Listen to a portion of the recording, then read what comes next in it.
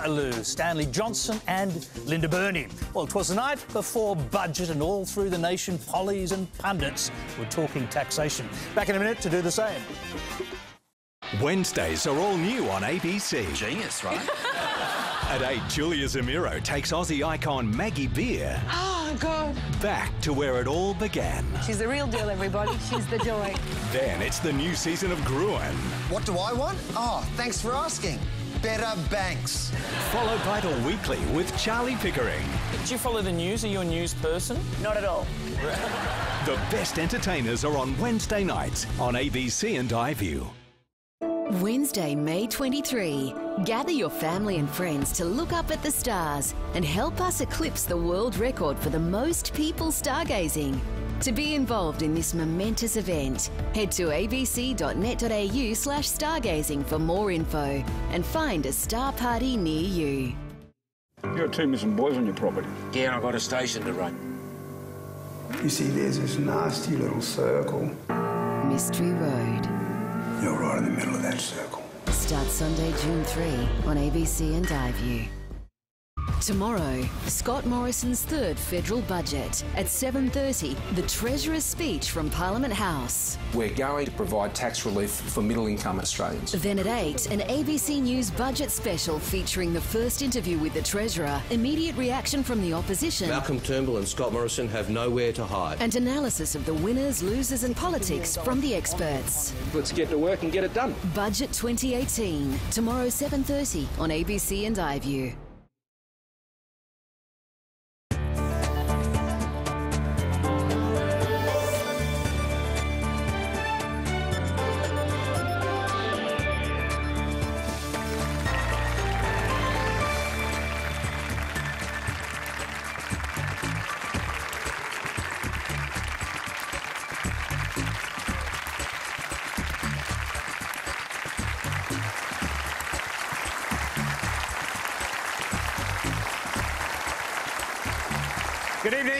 Welcome to Q&A live from Melbourne. As you can hear, I'm Tony Jones, here to answer your questions. The founder of GetUp and author of New Power, Jeremy Heimans.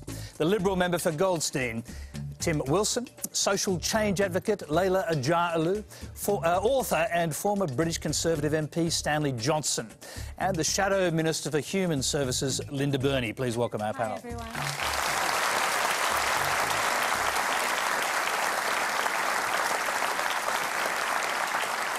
Thank you very much. Now, Q&A is live in Eastern Australia on ABC TV, live on iView and News Radio at 9.35 Eastern Time. It's Budget Eve, of course, but we also have questions on the new power of social media, work-life balance and much more. Let's go to our first question. It's from Tian Crowther. Last week, Liberal MP Julia Banks said she could live off $40 per day, despite records indicating that there are virtually no rentals available that New Start recipients can afford, making the benefit seemingly impossible to live on. When will the New Start rate be lifted to support people who are not working? Tim Wilson.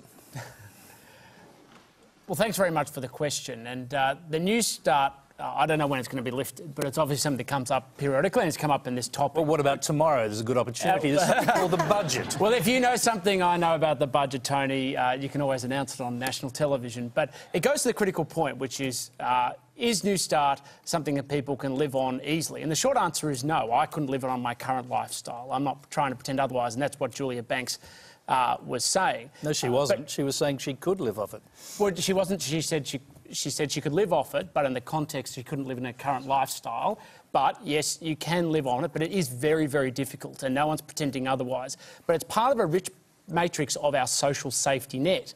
Uh, people on New Start often get other support measures and other concessions available to them, some from the state government, some from the federal government.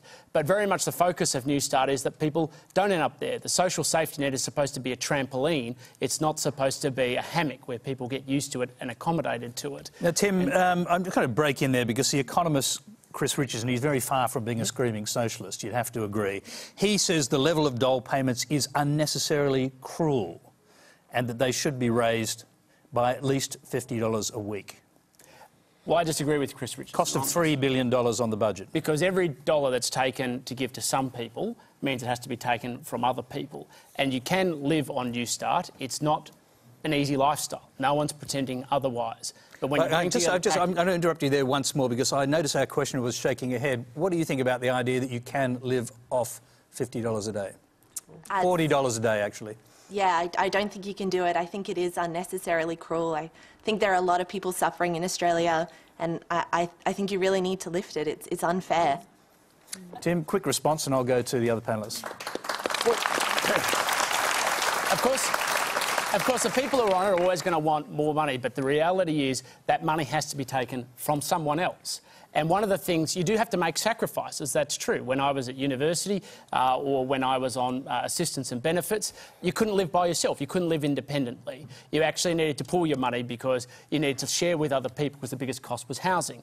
Then it's public transport where you get concessions. Then it's energy bills, which is why we've been focused very much on making sure that people can move off New Start and get into jobs. The government has been delivering 1,100 jobs a day to try and provide not that safety net as a hammock, but a safety net as a trampoline so people can stand on their own two feet and be able to move off All right, New right, Start. we'll just jump off the trampoline for a minute. Uh, Jeremy, I can see you want to get in here. Well, look, Tim, I mean, you're, you're absolutely right. The money has to come from somewhere else. But that's precisely why the sort of $65 billion proposed of business tax cuts, that's a fantastic place to take the money to increase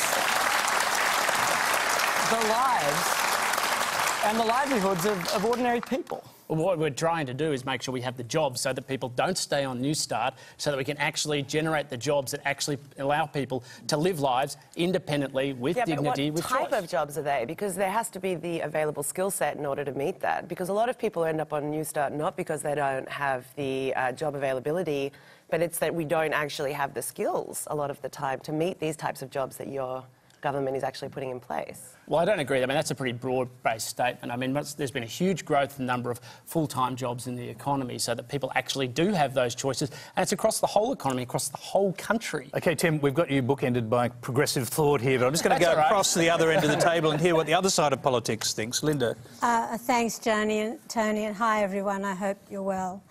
Um, I could not live on $40 a day, and anyone that says that they can comfortably, uh, they are living in a bubble.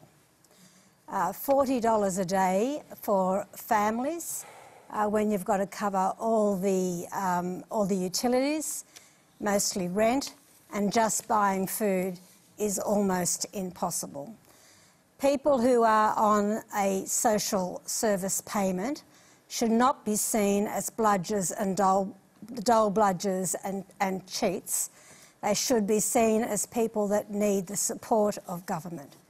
Uh, the other thing that's really important for people to understand is that New Start is actually the third uh, costing payment when it comes to the social security system. Uh, the most, uh, the most ex- expensive part of it, important part of it, is for aged pensioners. Then it's people who are on a disability support pension, and then it's New Start. So, Linda, um, I'm just going to interrupt you just for a moment because um, you're obviously passionate about this. I am so, uh, what's passionate. Labor going to do? Um, Well, for I- I am- example, would Labor agree to do what Chris Richardson, Conservative economist, says $50 a week increase minimum? Uh, what Labor's saying, and I think people probably saw it today, is on, uh, on coming into government, there will be a full and really in-depth review on the whole social security system because there's so many payments and it's complicated. Um, there is an absolute understanding that New Start uh, is a payment uh, that is uh, very minimal and it's also a payment that is not there, as Tim said, for people to get into a hammock. It's for when people are in between jobs or have not started employment. Um, so the commitment tonight, Tony, is a very in-depth, and I mean in-depth review. But Linda, a commitment to a review, system. if I may say so, that's a great politician's way out of actually I- making a promise. I mean, we're going to review something, we don't know what's going to happen at the end of it, and the review happens only when we're in power. Well, I'm, I can't say to you tonight um, that there is going to be an increase in New Start, but I think that if you understand the seriousness of the review that we're talking about, understand the uh, fact that people, uh, particularly within my party, do not live in a bubble and understand that New Start is a minimal payment. And what my position is, is that people who are on welfare should be able to live with dignity, and that's the question. So, so quick question. If you can't live off it, you can't leave it where it is, can you? It, uh, well, the, the issue of... Just taking by your own words. No, no, I, I understand exactly where you're coming from. Um, and I know that this is a very important discussion within political parties, but also broadly. I mean, I, I know many people, um, and in my, in my role as Human Services Shadow, I meet many, many, many people. I go to many communities who are, uh, who are trying to survive on New Start. Yep. And I can see the absolute okay. challenge. All right, OK. Um, yeah. Stanley, um, you've heard these arguments in Britain, obviously, but do you think that, a, that it is the role of a government to make sure that those who are unemployed can actually live off the amount of money they're given by the government? I, I think we're in a new area altogether. This isn't a zero, not a zero-sum game. There's a lot of economic theory out there now which says if you give people a decent income, they will spend that income. Now, the President of France, Mr. Macron, has actually proposed not just giving, you know, unemployed people income, but giving everybody a basic income. Mm. And you can work it out in economic terms. By the way, apropos living on $40 a day. I lived for three weeks in a jungle in um, New South Wales near Murwillumbah. and I tell you, we didn't have $40 a day, but we had 600 calories a day. And I felt really fit on that. However, I'm not making, a, not making a political point yet. Politi not really, because you had an entire television company yeah. making sure of your welfare. So no, I think that was, just, uh, we I'm a celebrity, let me out of here if I'm... I'm a calamity, get me out of oh, here. Okay. But, Tony, surely there's an issue um, that the government's not thinking about. They're talking about, you know, working families, uh, middle-income earners. There are many people, as we know in our country, that live in abject poverty. You're right. And, uh, and that cannot be ignored, and they are not people that have crawled into a hammock. OK, let's move on because we've got quite a lot of questions tonight uh, on different subjects. The next one's from Christopher Milne. Um, we've seen the NAB make billions in profits and sacking thousands of workers at the same time. The Royal Commission into Banking has shown a seemingly unethical system built around taking as much money from the average Australian as possible, both living and dead. Why should Australians further subsidise the big banks and other big businesses through billions in tax cuts? Tim Wilson. Well, firstly, tax cuts aren't subsidies. They're actually uh, when people generate income. So it isn't when you get your tax reduced as an individual, you're not getting a subsidy from the government, you've earned that money, and taxes are the contribution that people make towards having a free, a just society. Uh, so this would be a reward, would it, for the banks doing a good job? Well, well no, Tony, because I know that the cheap jibe you've just made, but the, real, but the reality of it is, is that tax, tax applies to everybody equally. And so you have uh, a company tax structure that covers all companies. Now, we've actually got a differentiation at the moment because part of the government's tax cuts were cut, uh, were, were, reduced, and other ones in the larger companies have not. It doesn't discriminate and only give it to, to banks, it gives it to all of the large businesses. So would it be would, would it not possible to, to frame legislation where you didn't give the tax cut to the banks? well, of course, we could technically do that, but are we going to now go around and apply different rates of tax on individuals based on whether we agree with their conduct or whether they've done something right or wrong in the past? That would be a path. First, it would make the tax system much more complex but uh, and it would lead to people finding ways to make sure that a lot of their businesses weren't in the bank's component mm. of their businesses, so it wouldn't work.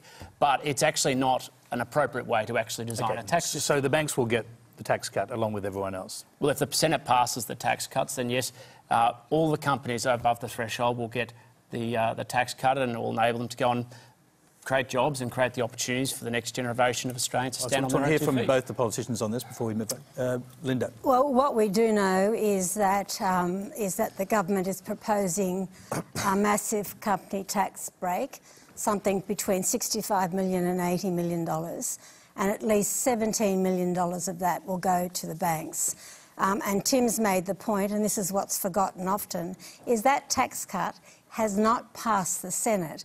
Um, and that's a really important point to keep in mind.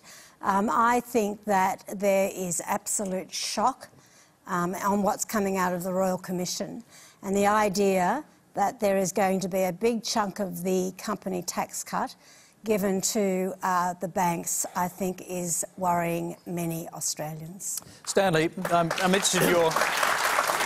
You've been, a, you've been an MP in Britain, and um, I'm just and you've watched this closely. So, what are your what are your thoughts on this? I would it's have a thought- dilemma for the government, isn't Well, it? I tell you something. You know, speaking with all the humility of, a, of an outside observer, I, I do wonder whether just at this moment, this is the this is the moment to give the, the bankers a, a tax cut. I, you know, I just think that that is not not something. You've got plenty of other things to do, but I just rather wonder whether the banks need to be right up there in the firing line in terms of getting the tax cut. I would have thought, can't they, can't they just sort of hang around a bit? But this is the point, Stanley, is that it's not going just to banks, it's going to all the people who are above a threshold in terms of business activity.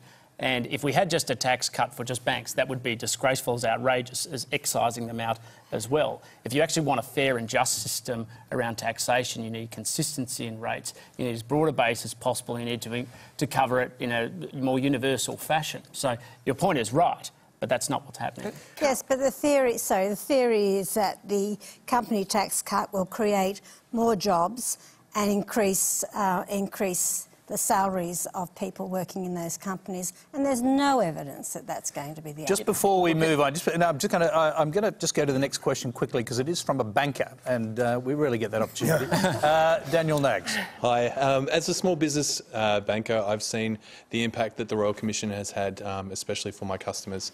So that's not only been a reduction in approval for lending, but also uh, overall suspicion and uh, distrust in regards to the bank. So my question is, as we know, lending is an important part of business for most people.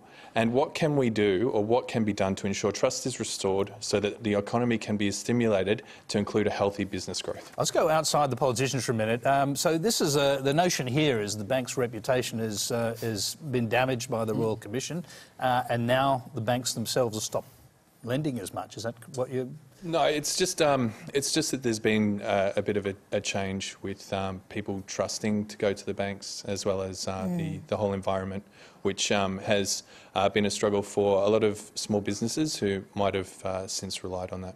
So um, uh, when you see what happened in the Royal Commission, just sorry to Yeah, grab no, you no, here, no, but that's when, fine. when you've watched what's happened in the Royal Commission, the, the big banks and the kind of um, well extraordinary scandals Yep. that we're seeing exposed, do you think people are right to stop trusting Hundred banks? percent. Yeah. Yeah. I mean, look, uh, ethical um, and uh, financial ethics is something that's extremely important, and we're seeing a lot of that come to light. So there's no dispute there, and that's not something that I um, disagree with. Okay, Jeremy, um, you know, part of your job is to sort of do campaigns to uh, make people think differently about things. Could you ever do a campaign on behalf of the banks? Well, well, the banks make it very easy to campaign against them. um, they, they, make, they make our job effortless. Um, look, I, I, I think um, people are not going to trust. We live in this age, right, where people are deeply sceptical of institutions. And for good reason when you see things like the banks. So, people, until institutions actually start trusting people and actually take their agency seriously, uh, people are going to turn away from um, the big banks. They're going to start to work out other ways to do these things peer to peer. And so um, I think it'd be a very tough job right now defending the banks in Australia. And actually, the work I think is actually to push on things like the tax cuts and say, you know, is this really, you know, can't we be more bold and more imaginative as a country than just to whip out the old tax cuts thing again, right? There's so many opportunities for like progressive economic policy, retrain uh, and offer lifelong learning to every Australian, um, opportunities to incubate small businesses. So the idea that you know we're stuck in this time warp where, as Linda says, you know all the economic evidence is that this doesn't work. Real wages are stagnant while corporate profits go up 20% a year. And yet we're stuck having this debate about business tax cuts. We can do better as a country. I'm just going to quickly whip across to Stanley again. Because I think you do believe that uh, corporate tax cuts actually do create jobs. Well, in theory, they do. I mean, if, if people are getting the money and they're spending the money, that is going to feed back, back into the economy. No, the point I made was, was this the politically right moment? And I, am just picking up Tim's point, surely there must be a way of saying some uh, corporations deserve these taxes, others don't. And in this particular case, I'm not right in thinking that there's been a little bit of misbehaviour by the bank. So couldn't you It's construct some, misbehaviour. some? Couldn't you construct some criterion which says you're not actually eligible because you know you've got X, Y, and Z uh, uh, scored up against you in the, in the book. I would have thought it must be possible. Tim, to you, you, you might find you don't have any choice but to consider that because um, uh, the Senate is going to control whether the Mm. tax cuts go through or not, and it's very unlikely they're going to let tax cuts through, go through to the banks. So, are you prepared to compromise if someone comes to the government and says, "Well, yes, we'll vote for this, but if you cut the banks out"? I suspect not, because in the end, for the reasons I outlined before, you actually don't want an environment where you're creating these special classes of businesses that get tax cuts and don't get. There are, not all banks, by the way, that are covered by the tax cuts. Uh, have been caught up in problems in the Royal Commission. You're exactly right. There have been um, uh, businesses that have seen opportunities or market opportunities from banks uh, that have done the wrong thing, and we have smaller banks that operate and have come in, particularly when they've stopped larger banks stopped lending to smaller communities, to smaller businesses, and they've taken that opportunity, the market opportunity that's come from that. They would also be penalised by excising banks out of this. So it's a bad policy position, which will inevitably only lead to a situation where uh, we now pass moral judgments about who pays tax and how much. Okay, Leila wants to get in. Yeah, I mean, I think we just need to look at this from a big picture perspective. Why do we have taxation? Basically, it's the levers of society. We put taxation on things in order to influence consumer behaviour and to ultimately challenge the way our society evolves. So I actually completely agree that an ethical code of conduct that applies to our big players in our industry that are influencing society is an important conversation to have, and that the government should be thinking about the types of things we're incentivizing. Because ultimately, the decisions you make today will determine the kind of future that we're living in. And whether we keep repeating these types of cycles, where big institutions get so big they're too big to fail, and they ultimately start to exploit the very people that they were set up to serve in the beginning, which is the situation that we're in right now. And unfortunately, we're going to continue to see that unless we start to have some really significant forward thinking with the types of incentives we put in place through the economic measures that our country has. All right, we've got Can I we've got- actually yeah. go back straight to the question? Yes. I don't disagree with most of what was just said. I just think the tax system's a really bad way to do it. Because if you go back right to the start of the question, it was largely about trust and how we're going to rebuild the trust in the institutions of the banks. And I think that particularly what you need to see more of is building a code of conduct of ethical behaviour, particularly within people within banking institutions. And because it's not just about the government holding people to account, it's people within industries holding them to account as well, and including peer-to-peer accountability.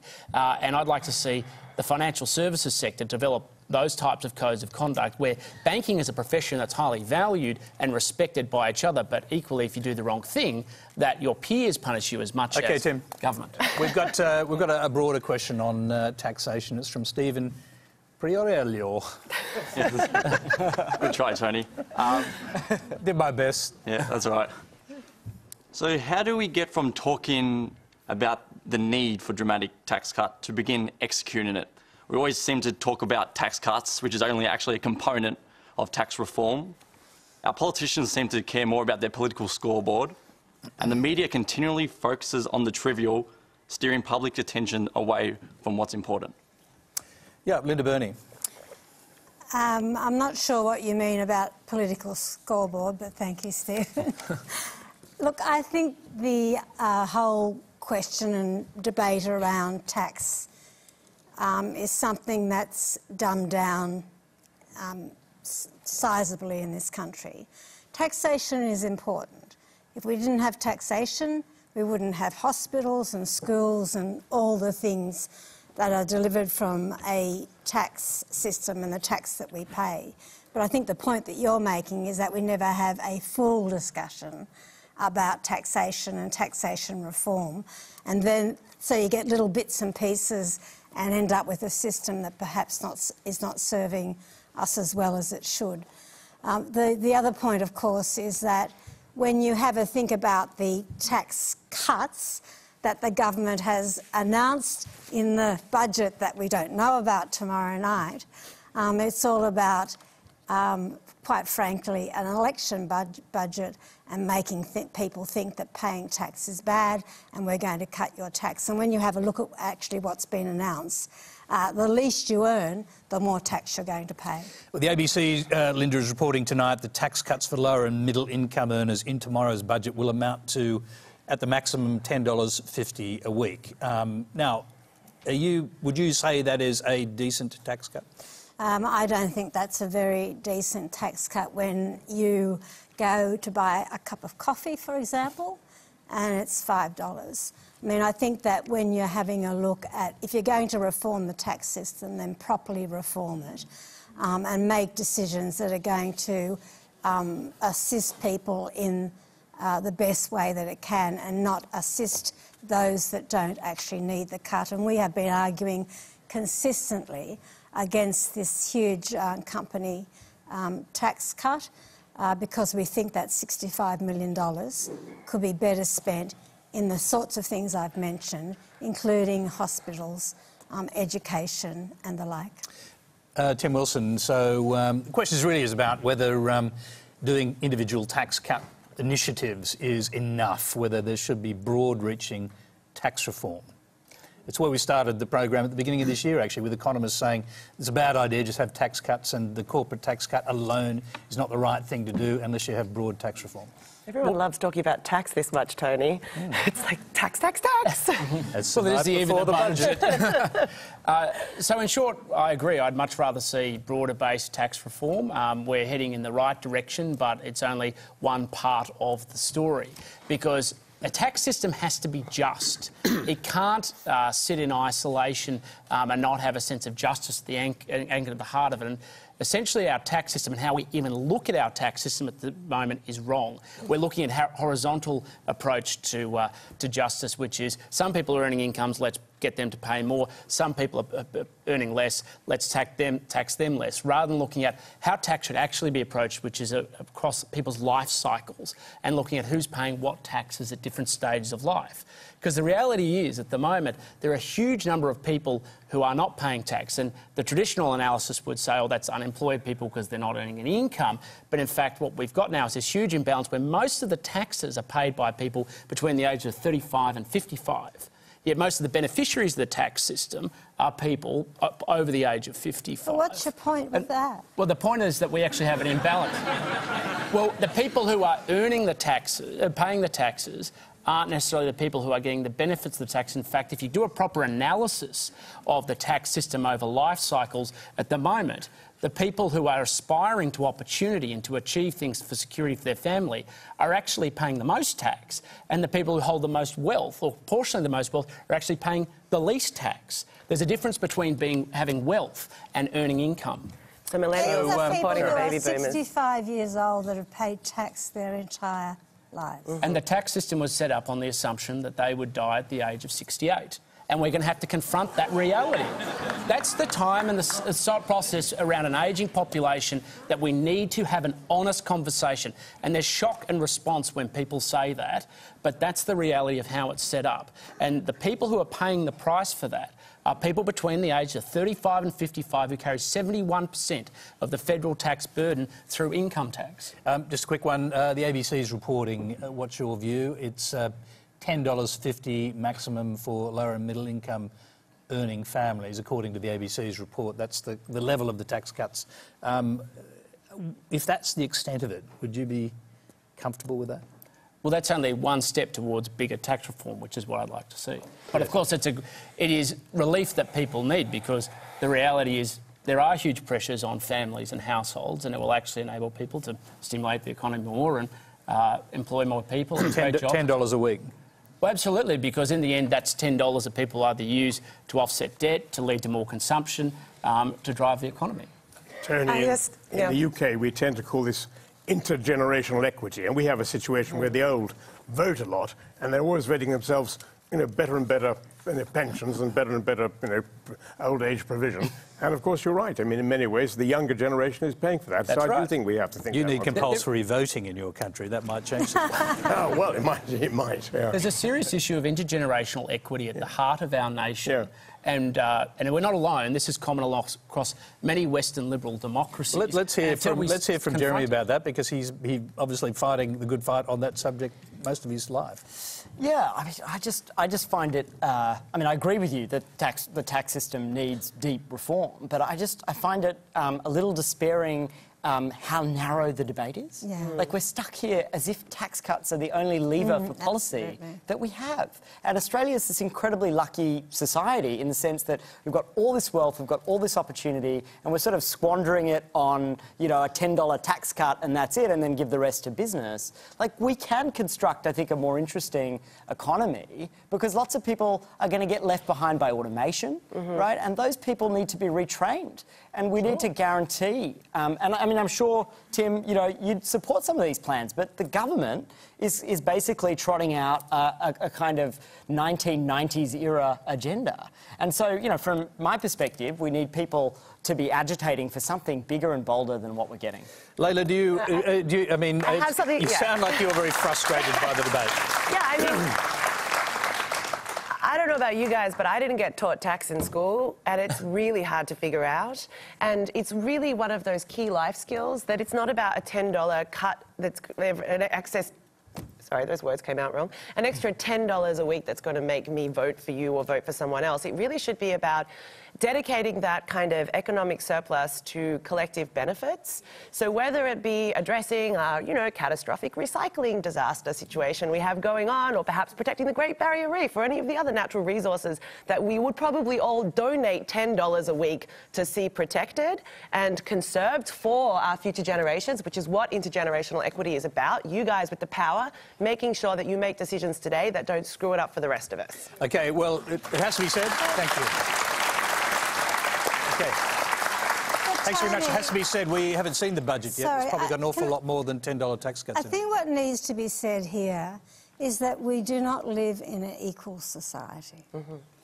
We really don't. Um, and there are many people, particularly uh, Indigenous people, for example, uh, many people who are considered to be, um, you know, uh, welfare cheats, that are doing it really, really hard. And a, and a, and a government's job is to, is to bring about equity. Um, and I don't see what we're looking at now at bringing about that equity. Thank you very much. Now, remember, if you hear any doubtful claims on Q&A, let us know on Twitter. Keep an eye on the RMIT ABC Fact Check and the Conversation website for the details. The next question comes from Shireen D'Souza. My question is for Jeremy Heimans. In your ideas about new power, you reflect on open, participatory, peer driven movements like Me Too and Black Lives Matter. However, fake news, populist views, and contentious propaganda, as seen with Brexit and the Trump campaign, are also open, participatory, and peer driven. So, how do we as a society, who are willing to embrace these new power models, foster a more inclusive rather than a polarized future? Well, I think that's exactly the right question. The, the stakes at this moment in history are huge, right? So the way we talk about new power, it's this essential skill in the 21st century. The people who are sort of getting ahead are the people who can conjure the crowd, right, and get the crowd to follow them. And that's a new set of skills, this digital crowd. And you're absolutely right. Donald Trump mastered this art, right? During 2016, much better than Hillary Clinton, he had this vast decentralized social media army. And the message he sent to those people was, you know, an empowering one to those people. You know, when a white supremacist would tweet some hate, he would retweet it and then not apologise. And the message that sent was, do your worst. You know, when a protester, he would say to his protesters uh, at his rallies, he would say, look, if you punch one of my protesters, I'll pay your legal fees, right? So you're absolutely right. The stakes are that in a world in which um, who better conjures the crowd is going to win, and that's true of everyday people and it's true of politicians, it's up to those of us on the side of a, a better world to figure out how to do this, right? The climate scientist needs to be as good at prosecuting their argument as the climate denier. And the white paper and the symposium just won't be enough. So I think in order to build a more participatory world, we need those of us who want to build one of those worlds uh, to really uh, lead and champion the fight before the bad guys do. Uh, Jeremy, it sounds like you're talking about quite a dangerous development. New power has, you would argue, a dark side and a light side, and I imagine you think you're on the the right side, or the progressive side of the argument. but if you look at how Steve Bannon and others used it in the United States um, in support of Trump, but also in support of other broader and far right causes. Yes. It's a pretty dangerous phenomenon, isn't it? I mean, demagoguery, possibly on both sides of the equation, um, sounds like a, a likely outcome. Well, I think that's right. So it's certainly true that those on the side of hate start at an advantage because they can provoke, uh, you know, they're unbound by facts or reality, so that means that you can come up with some really fantastic stories. But actually, I think there are some really inspiring uses of social media that point the way. If you remember after the Sydney siege, right, the, the Lindt massacre, uh, that I'll Ride With You movement began. Mm. And it didn't come from a big organisation. Uh, it didn't even come from GetUp, it came from ordinary people who were self organising and this act of solidarity that um, Muslim Australians who were worried about their safety in that environment, that um, non Muslim Australians would ride with them and offer them solidarity. So, for all the moments of hate, you also see these incredible waves um, of. Uh, of human goodness. And so the work, I think, is uh, those of us who are championing those values to get better at this new power. Now, one last question before I throw it around the panel. Was Vladimir Putin using new power uh, when he unleashed his spy agencies into the social media networks of the United States uh, to influence at a micro level individual and collective groups of voters? Well- was that new power as well? Well, indeed. We like to say about uh, Vladimir Putin old power at home, new power abroad. Right? So his, you know, at home he's all about containment. He's a fairly traditional authoritarian, right? But, um, but, but, but in the rest of the world, he's using these skills very effectively to manipulate societies that are more open. But in a sense, that's a bit of Donald Trump's model too, right? We call him the platform strongman, right? Because he's brilliant at using social media, but it all ladders up to this authoritarian value proposition where he alone can fix it. Um, I'm going to bring Stanley in here because you, you've written a book, actually, uh, Stanley, which is a novel, but it basically proposes the idea that, that Brexit was also uh, Well- a, a place where new power, put in those terms, was Yes, I mean. Miss, Mr. Souza's question was really is how do you how do you winnow out the you know the bad uses of, of new power from the good uses of new power? And, and yes, for the purposes of my of my book, I said that the, the, the Russia, Putin, whatever you like. I didn't call him Putin, by the way. I called him Popov. It's close. Igor Popov, Igor Popov. Well, the, the answer is we know for a fact more and more evidence of, of how that played out in the United States. We appear to see it playing out now in Britain. We have this, uh, this um, new Labour Party uh, chap called Jeremy. I suppose you call him Jezza in um, Jeremy Corbyn. Uh, we call him Bill. yeah. Well, it, more and more it appears that a lot of stuff which is to do with the great enthusiasm for Corbyn um, in the general election last year was created by you know, the trolls and so on. And my point in this book, which, by the way, you forget, it's called Kompromat, by the way, just in case we fail to mention that. My point is that, my point is, Tony, that actually, if you look at the Brexit vote, you will see that that was vastly influenced also by uh, the, the Russian network. I won't go into the details. And, and, a, and a bloke called Boris, uh, oddly enough. Well, um, no, but the point I'm getting, but going back to the topic, I do think there is a problem. How do you actually winnow out the good, the good new power from the bad new power? It's, it's very, very difficult. But I think it's I think it's a bit unfair on Jeremy Corbyn, whatever we think of him, right? I mean, I think Jezza. we, we you know, and, and right, and, and the book made clear leaders like this uh, are winning today because they're able to generate intensity. Right, you think about that movement, the momentum movement, that was is his sort of new power flank, right? And as we argue in the book, the currency now is intensity, and so political leaders on both sides that are able to generate what is very genuine support in his case are the ones who are getting ahead, and that is winnowing out. Well, you I say think, very generous moderation. support, but you, it's been traced back to you know four different places in, in Russia who were trolled out. Often they're, they're called bots, by the way. They're not, even, they're not even people. They're machinery which keeps on producing the same the same stuff. So I think there's a bit of a da- danger in your new power. Um, I'm going to bring, hang on, one here from uh, Layla. So, new power, old power, um, where do you sit? Well, power as a concept is basically a resource that we trade, right? So this guy has a lot of power because he's an elected official in our political representation. I, as a woman, have a lot less power as a commodity in the world. So power as a resource is something we need to think about it in an objective sense, and good and bad makes it very complicated because it evokes all of these different ideas in our head. And that's actually really one of the things that I'm thinking about sitting here is that power is actually really about how our minds respond to what information we receive. And humans have a predisposition for something called a negativity bias. And what happened with a lot of the current political systems in the UK and in the US was to evoke fear and moral panics and to use framing that, that hijacks the amygdala in our brain and makes us have a fight, flight, or freeze response. And then ultimately, you are so limited in your decision making, you end up being manipulated through the system that the, the kind of orchestrators of that political ideology get you so to. are you saying it's actually easier to manipulate people using fear than opportunity? Definitely. And if you look, categorically look at all of our media, social media, it is. Uh, totally hijacking the negativity bias. And the thing about humans is we also then have this kind of conflicting optimism bias, which means that for us individually, we see the future of our own lives as being positive. So whilst we see all this negative stuff in our Facebook feeds and we feel pretty crappy that day, when we go to bed at night, we imagine that, you know, climate change, it's really not going to affect us. So it's okay. So we have this very conflicting uh, experience of, of encountering these kind of very powerful forces on us. Okay. I'm going to go to another question on this subject from Claire Green. As students, we're constantly berated for the content we upload online. If we aren't being mocked for sharing memes as social commentary, or for narcissistic selfie culture, quoting Mr. Heimans, then it's ongoing disapproval for utilizing our voices and our opinions. Young people and new media are such a powerful presence. So why do older generations seem so fearful of us and our capacity to incite change? Now, before we go to the older generations, I'll go to Jeremy. You are, you're probably you're certainly older than our questioner. Old enough, old enough. Well, look, I, I would say um, that your generation is incredibly inspiring on a lot of fronts, actually. So you think about those Parkland kids, right?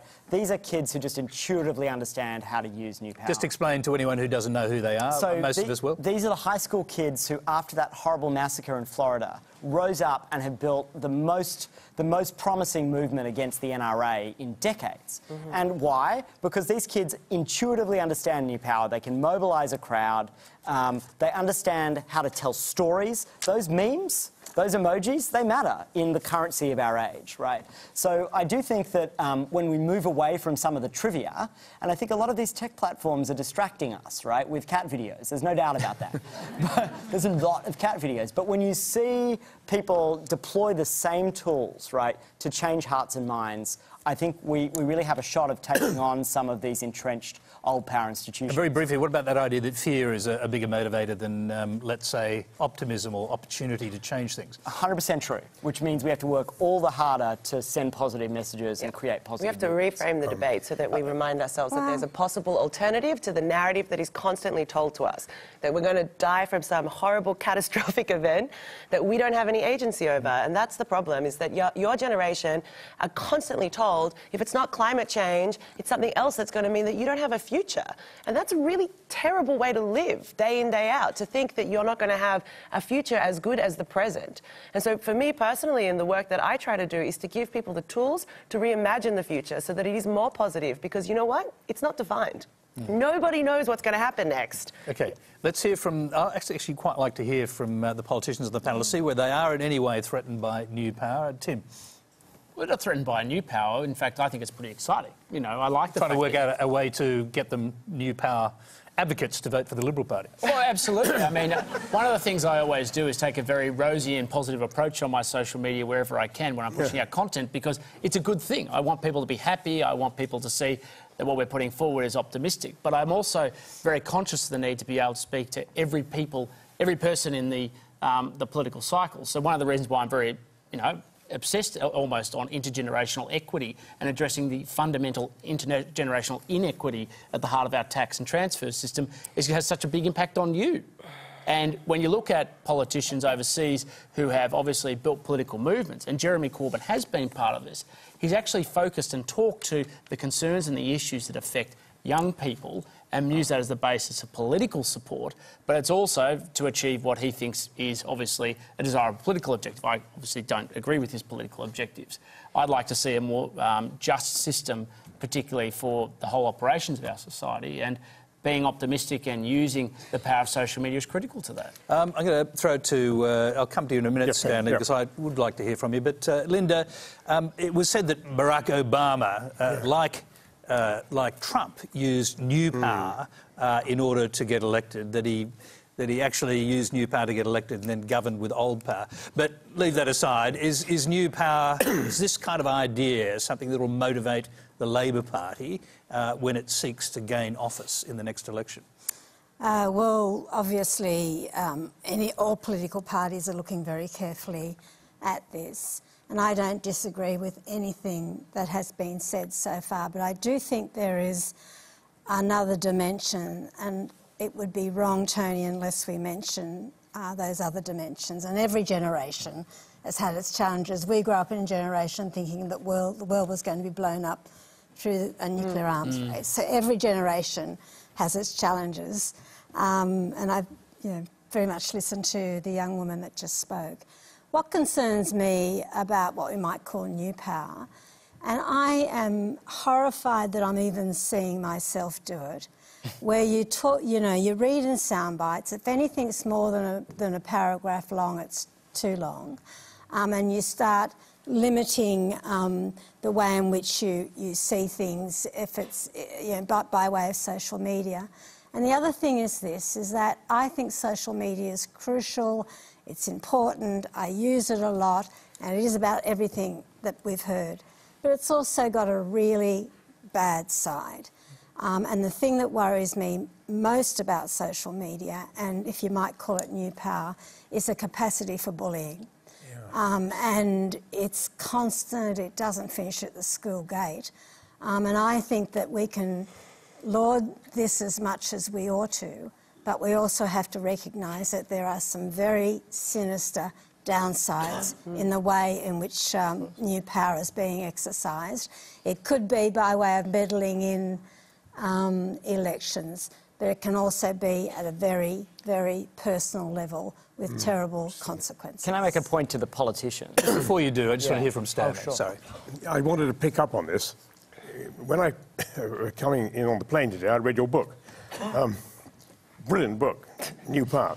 One, one thing which really struck me was an example you gave, and that was the NRA with not very, very much money. It was in some Western congressional area, and they managed to get rid of two, either senators or congressmen, through a, a s- y- y- invoking something called congressional recall procedure. Okay, and you pointed out that they'd actually used this new power with a trickle-down sort of way, and the other side of the thing, on, on the good guy side, you had Bloomberg spending millions and millions and 1000000s trying to mm-hmm. bring in, you know, gun control laws in, in Congress. So I'm trying to make the point that it is a two-edged sword, very much, Mm. this, this new power. And I, I absolutely support Li- Linda here. You've got to be careful. Jeremy. Yeah, and that's, by the way, why, in the same way that Bloomberg wasn't able to win by just raining money down, I don't think the Business Council of Australia's movement uh, efforts uh, that they announced this week uh, to counter groups like GetUp is going to succeed. I just wanted to make one quick point, which is that, um, that politicians, right, that government needs to get better at new power as well, right? So we think about our lives, the Instagram, all these, all these apps, um, Uber, they give us these feedback loops. They're easy to use, they're frictionless, and uh, then we encounter government, right? And government is faceless and it's cold, uh, and sometimes Gee, it. thanks. What was that? No, but, but this is why it Just matters, about right? Tim, not you. because That's why you know, we come on these programs, Linda, it so that might, we can it be might, faces. it might feel trivial, Linda, but un- until governments get better at providing those experiences, those feedback loops, until government gets more participatory, because we live in this age where people are hungry to participate, then we're going to get more and more sceptical of the institutions that we actually need to preserve. And I really worry about that. Brief one. Um, I mentioned that about Obama, and I actually Yeah. did pick up that up from your book, as a matter of fact. But the idea that Obama got elected with new power and governed with old power, Yeah, just briefly on that. good. Well, he did, right? So he builds this movement, but but he doesn't build the, bring the movement in with him to office, right? And that's you know he's not a particularly participatory president. He's very conventional. Unlike And- unlike Trump. Unlike Trump. So Trump's actually governing with new power too, which is very dangerous. And, and Obama's failure to elect his successor, I think, is in large part because his movement didn't move without him. Okay, you're watching Q&A live and interactive. Our next question comes from Chris Sillick, who lives with cerebral palsy and will use an iPad to ask his question. I have recently received an offer for a specially designed apartment which would enable me, for the first time as a 34 year old, to live independently. These apartments are designed to meet all the NDIS standards. But I have not been able to secure my NDIS funding. My application is constantly hitting dead ends and going in circles and it now appears that I may miss out on this apartment due to red tape.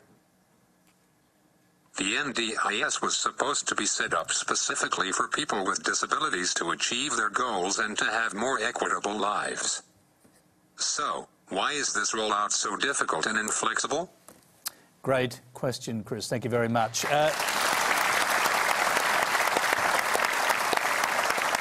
okay, Linda, I'm going to start with you and then I'll hear from Tim. Um, thank you, Chris. Um, the NDIS is one of the most revolutionary, important things I think that's happened in this country for a long time. Um, and the theory, as you know, uh, was to provide uh, people with a disability independence and a choice about what sort of services they would buy in. But you are right, um, and uh, it would be very wrong to challenge you because you're living uh, with a disability and you're living with the consequences of a rollout that was perhaps too fast. Um, and also, I know coming into my office, Chris, there are many people uh, that are supposed to be in receipt of an NDIS package, and there are many people coming in that are working or trying to work the, with the NDIS system and are finding it extremely difficult, particularly getting the NDIS package that they're supposed to get, which, what, which is what you were describing. I, I do believe that there is inadequate training, and I think that some of the people doing the assessing, which is what you've struck, um, of the needs are perhaps not well trained enough.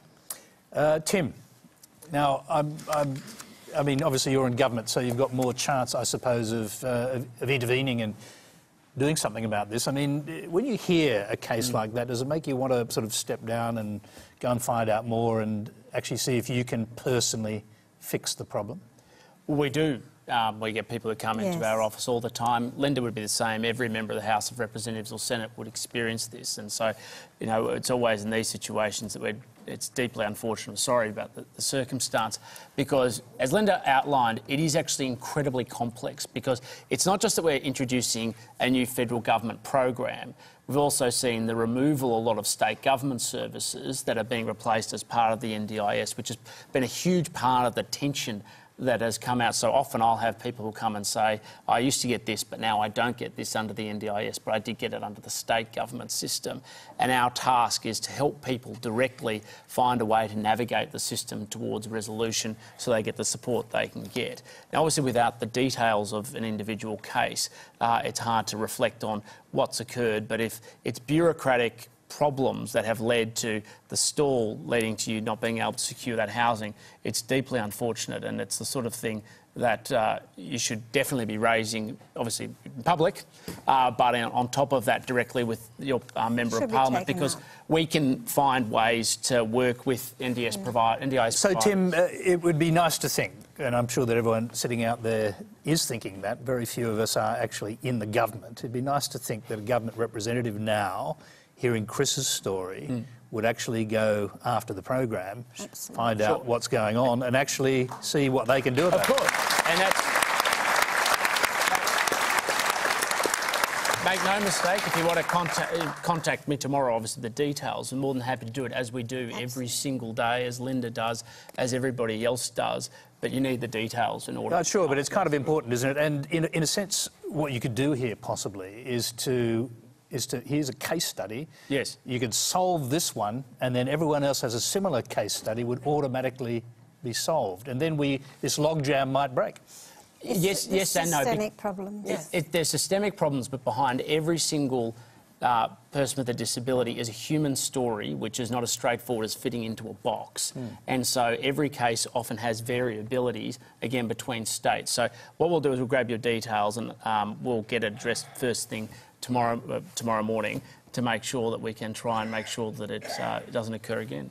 Jeremy, you, you were talking just Yeah. a moment ago, actually, Yeah. about um, the nature, really, not, not talking about government representatives so much, but the nature of the bureaucracy set up to deal with humans. That's right. I mean, it's so, i i you know, government can be so faceless and cold. It, it- it's like doesn't often respect the people that it serves, right? You think of these this robo debt phenomenon, right, where the government's doing this robo debt thing, and it's more important for the government to automate the way uh, the the dole payments work than it is to actually serve ordinary people and not give them these really traumatic experiences. And that's just a sign of this broader problem, right? Which is government doesn't have, it isn't, isn't oriented toward um, serving people, making it really easy to actually get the help that you need. And I think that's something that everybody can actually agree on, right? I mean, I don't think that um, progressives or conservatives disagree on the need to have a government that's more participatory and that's more responsive to ordinary people, but it requires getting off the high horse a little bit uh, and actually engaging in some of these new tools and tactics, the, the sort of stuff we talk about in the book. Later. Yeah, and it's really about systems design because ultimately the experience that I'm sure your whole family are having is an extreme frustration with a very, very, very badly designed system. Not just in the way the policy is designed, but the entire user experience. Well, it's a system that's evolving, you'd have to say, and let's hope it gets better. But even just the, the, the front end user experience, like the phone calls you have to make, the paperwork you have to fill in. I mean, if you got if you got to log your hours, you could possibly send him a little invoice for the amount of time you've spent on that, because that's really what we're looking at here. And that externality is something that his budget doesn't account for, which is the time that people spend looking after family members and making sure that we have a more equitable society. So I feel like, you know, ultimately the government needs to think about the way in which we can design services with the same beauty and ease of access as Facebook or Instagram, which is really just about understanding the human experience and being more focused on More than that. Yes. delivering Yeah. Facebook an is a- outcome.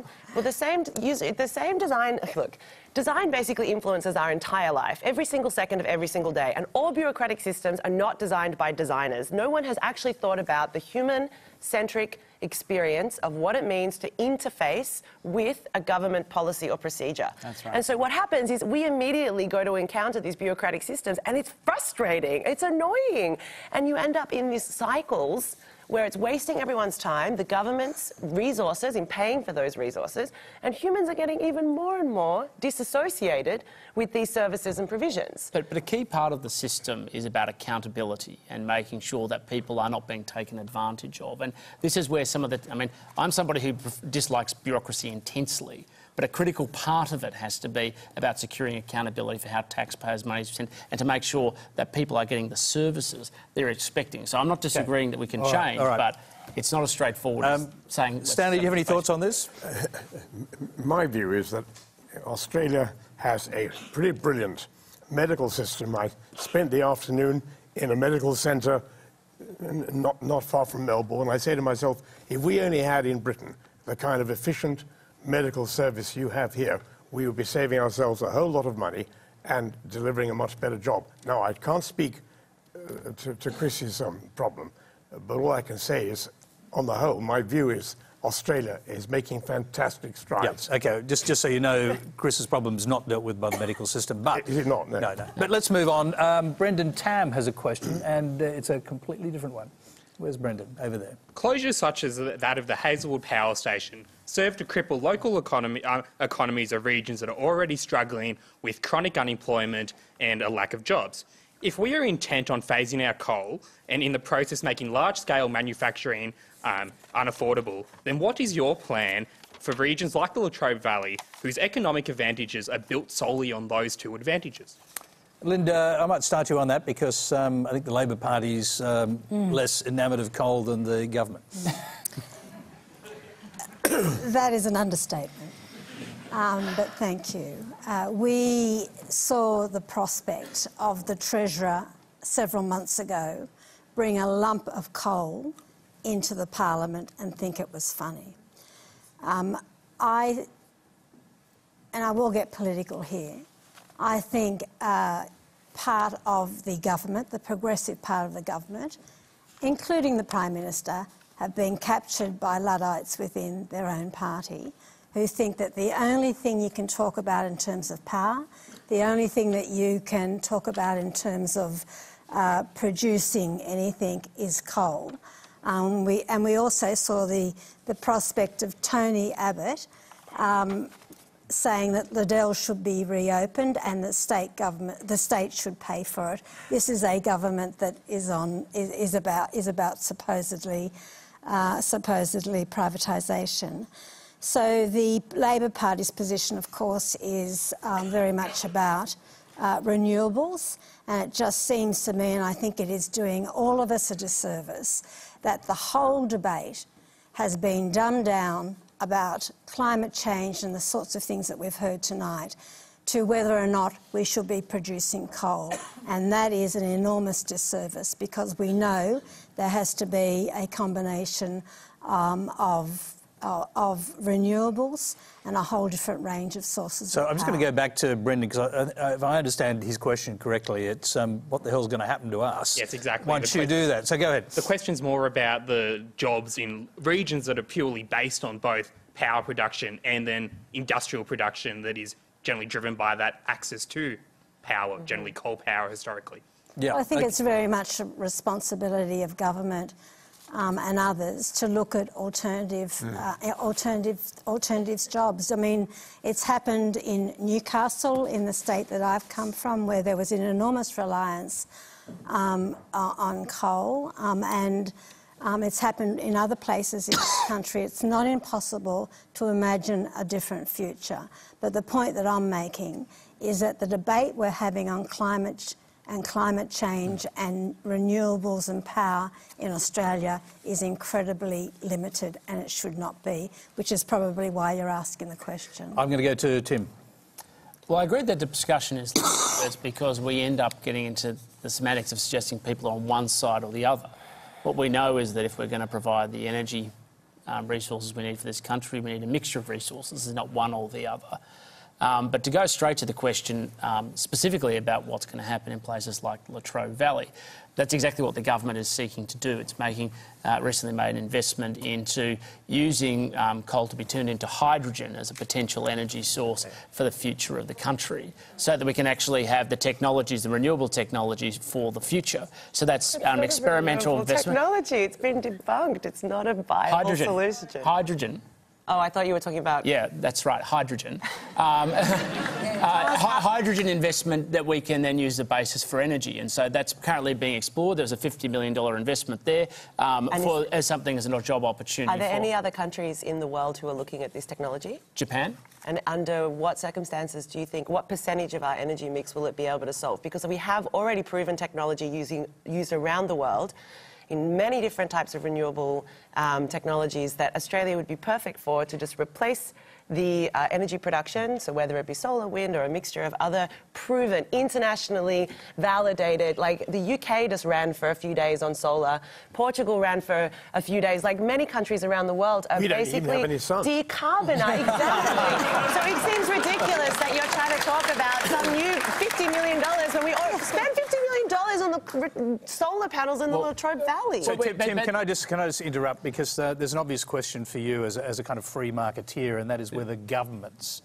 as has been suggested, should get involved in buying and building coal-fired power stations. No, I, don't, to su- I, I don't support governments getting in buying coal-fired power stations, but we have to go back to the, the original point, which is what are we actually doing for the Latrobe Valley? We're actually trying to give it a future. And I'm sorry, you can talk just about renewables as part of our energy mix. It's not just part of our energy mix now, and it's not just going to be the sole part in the future. It's a critical component of our future, but it has to be part of a mix that delivers it, because if not, we know what will happen. The price of energy will continue to rise, You have and it'll have a direct impact specifically on people who are contributing, uh, who are living off Newstart and the like, who will then feel the pressure.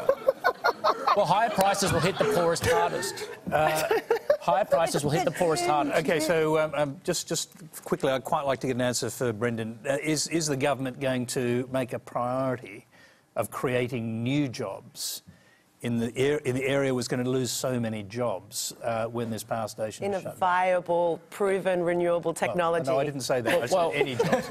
I- I've just outlined for the third time that we're actually making investments to actually create hydrogen power or try and explore hydrogen power down Latrobe Valley, and I'm quite sure there'll be other other avenues pursued to give sustainable jobs uh, to Latrobe Valley. Uh, Brendan, I was going to, the last word here should go to Brendan. Um, you've heard both sides of politics. I mean, are you confident that your lives are secure?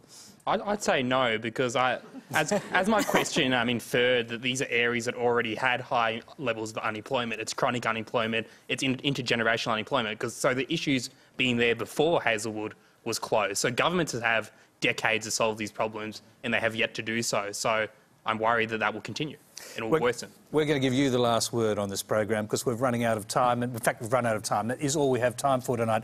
Please thank our panel and our questioners uh, Jeremy Heimans, uh, Tim Wilson, Leila Ajalu, uh, Stanley Johnson, and Linda Burney. Thank you.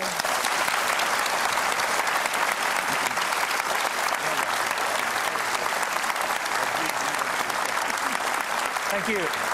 Now, you can continue the discussion with Q&A Extra on News Radio and Facebook Live, where Tracy Holmes is joined by Professor Dale Dominey-Howes. Uh, next Monday on Q&A, we'll dive deep into the budget with the Shadow Treasurer, Chris Bowen. Now, we did ask the Treasurer, Scott Morrison, to join us to answer your questions, as Joe Hockey did after each of his budgets. Once again, uh, Mr Morrison has refused to do so. But we will be joined by the Minister for Law Enforcement, Angus Taylor, who has a master's degree in economics from Oxford. Plus, the chair of the Australian Institute of Company Directors, Elizabeth Proust, economist and columnist for the Australian, Judith Sloan, and the director of the Australia Institute, Ben Oquist. Till next Monday, good night.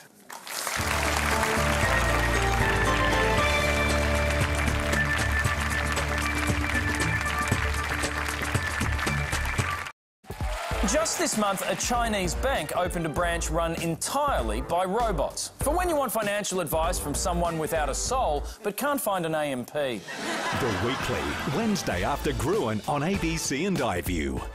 Ladies, we need to talk. Yumi Stynes here, back with series two of the podcast with no no go zones. We're taking a deep dive into a range of tricky topics. New Ladies We Need to Talk now on ABC Listen. Tomorrow, She's the best listener in the world, you see, so she can get anything out of anybody. it's time to meet the real Camilla. She knew that she had the love and support of the Prince of Wales. Featuring unprecedented access and interviews with those closest to her. I thought, how brave you are. The Real Camilla. Tomorrow at 9 on ABC.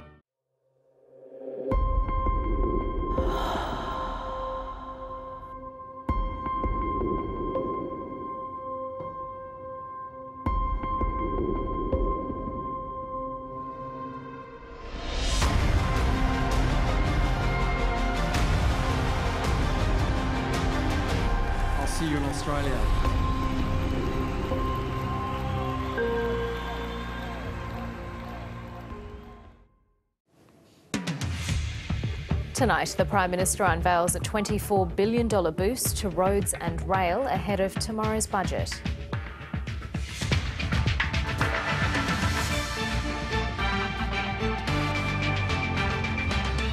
Holding water, the government strikes a deal with Labor to keep the Murray-Darling Basin plan on track.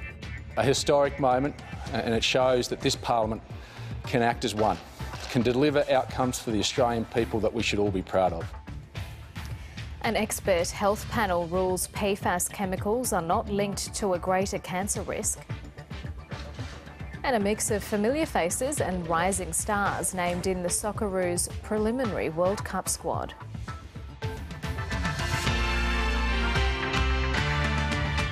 Hello and welcome to the late news. I'm Karina Carvalho.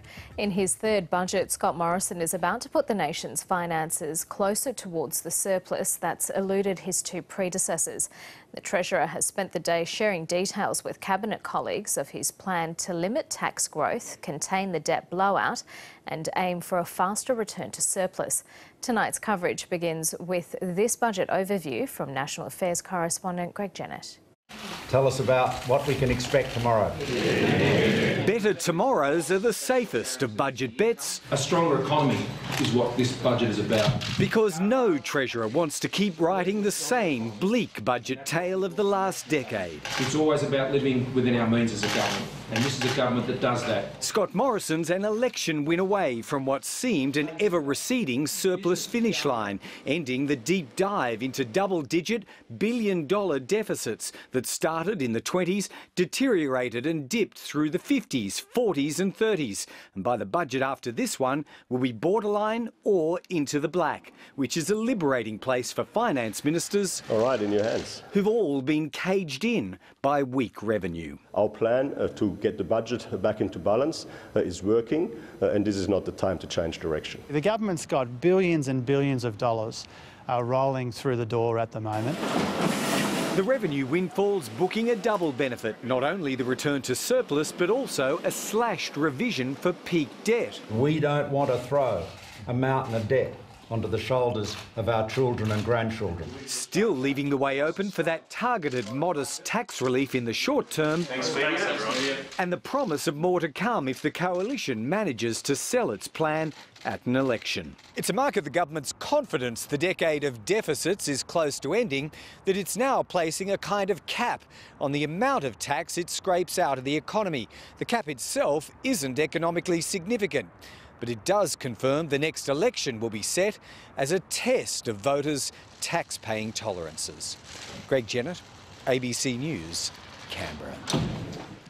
The Treasurer is keeping most of the finer details of his budget under wraps until tomorrow. Those modest tax cuts and a multi billion dollar package aimed at older Australians are among its centrepieces. Political editor Andrew Probyn has more.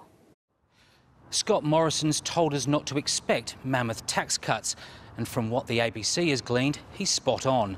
The government will tomorrow extend a tax break that goes to low and middle income earners. Currently, 3 million people earning less than $37,000 a year get a tax offset worth $445, decreasing in value until it cuts out at incomes of $67,000. It's understood this offset will be increased to $1,000 in tomorrow's budget and the cut-off raised to incomes closer to 100,000. Low income earners will get the biggest benefit with tax cuts worth about $10.50 a week clearly a personal income tax cut that prioritises low and middle income earners in the first instance, uh, of course, is good for them and it's good for the economy. Lifting the low income tax offset, as opposed to lifting thresholds, is not only a very targeted way of delivering tax relief, it's also relatively cheap at about four or five billion dollars. There'll be other elements to the government's tax story. Australians on higher incomes will likely be promised relief through a trajectory of tax cuts over the decade, a bit like the way the Howard government envisaged aspirational tax cuts. And as part of the widely anticipated aged package, the ABC understands the government will expand the pensions loan scheme to help older Australians top up their income by borrowing on the value of their home. Andrew Probyn reporting. The federal government has struck a deal with Labor to ensure the Murray-Darling Basin plan remains intact. The Senate will tomorrow vote on a Greens motion which would have blocked $1.3 billion worth of water-saving projects used to offset the amount of water returned to the environment. Labor says it won't support the motion because the government has assured it the plan will be delivered in full and concerns over the quality of projects will be resolved a historic moment, and it shows that this parliament can act as one, can deliver outcomes for the Australian people that we should all be proud of. Labor says the government has also agreed to a package of measures which provides a serious response to allegations of water theft in the Northern Basin. New Zealand's Prime Minister has rejected claims her country is an easy target for people smugglers. A tanker carrying 130 asylum seekers believed to be destined for New Zealand or Australia was intercepted by Malaysian authorities over the weekend. Those on board were from Sri Lanka. The government says New Zealand is being marketed as a backdoor into Australia. It underscores the fact that uh, this is a significant issue for our country. Uh, for New Zealand and for other countries in the region. Uh, we are cognizant of the fact that uh, this vessel is of significant size. The idea of New Zealand being used by people smugglers has been happening for a number of years. Um, this is not new. Our Jacinda Ardern says while her country does not have the same policies as Australia, it does have strict border laws. An expert health panel has found no evidence high level of exposure to PFAS chemicals has a significant impact on health. More than 20 defence bases across the country are contaminated with the chemicals, which were used in firefighting foam. Kim Smith only keeps one of her older horses on her rural property at Saltash, north of Newcastle. Her land was declared contaminated three years ago. We've lost three dogs to cancer. Um, you just wouldn't bring another animal onto here. Chemicals known as PFAS were in the firefighting foam used at the neighbouring Williamtown Air Base, and it's leached into the soil and the groundwater. It's just got this dark, dark cloud hanging over us. The worst affected communities from the chemical contamination are in Queensland, the Northern Territory and New South Wales. But an expert panel investigating the health impacts of PFAS has played down the risks. There is no um, evidence of um, human health impact from exposure to these chemicals. Um, and in particular, there is no increased burden overall burden of cancer incidence. The panel reviewed international and Australian studies finding fairly consistent evidence that PFAS exposure is linked to increased cholesterol, reduced kidney function and lower birth weight, but not enough to determine a large health impact. We need better studies with uh, better quality data to inform us going forward. We need the federal government to put in place long-term studies so we can see any uh, potential impacts uh, on residents in Katherine but across Australia. Residents on contaminated land in Oakey, Queensland, are questioning the panel's independence. You have the contaminators in charge of the research and the reports. We don't want to be exposed to some unknown chemical and be its guinea pig. Professor Mark Taylor says the evidence to date is insufficient to draw any conclusion. There is no evidence, according to this government report, that there are any harmful effects on humans because the evidence is so weak and limited.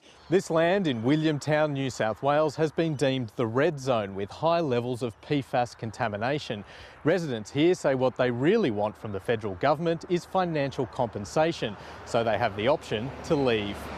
The government is funding a longitudinal health study and has just announced a $73 million package to help PFAS affected communities, 55 million to be spent on drinking water programs. Ben Millington, ABC News, Williamtown. A Brisbane court has heard a mother who allegedly stole her children from North Queensland and hid on the New South Wales Central Coast for four years, lived under assumed identities. Despite offering a $25,000 surety, the woman who can't be identified for legal reasons was refused bail. The 45 year old, extradited from New South Wales, faced court charged with two counts of child stealing. The woman is accused of taking her twin daughters, aged seven at the time, from outside their Townsville school in 2014 after a marriage breakdown. Today, she was kept behind bars. We'll apply for bail to the Supreme Court and effectively appealing the refusal of bail this morning. Police allege the mother and her daughters were living in Taree under assumed identities. The court heard she had Medicare cards with different names in her possession when she was arrested, but her lawyer said they weren't stolen and belonged to real people. I'm not suggesting she was using her real name all the time, he said. My instructions are that she has never applied for false identification. Police also allege the woman and her children had a support network, helping them to avoid detection for several years years. The prosecutor opposed bail, arguing she was an unacceptable risk of reoffending and failing to appear in court. She has hidden from police and authorities for over four years, Senior Constable Wade Domagala said. Her lawyer said his client intends to see this through and at some stage in the future wishes to reconnect with her children, but understands the trouble she is in at this time. The magistrate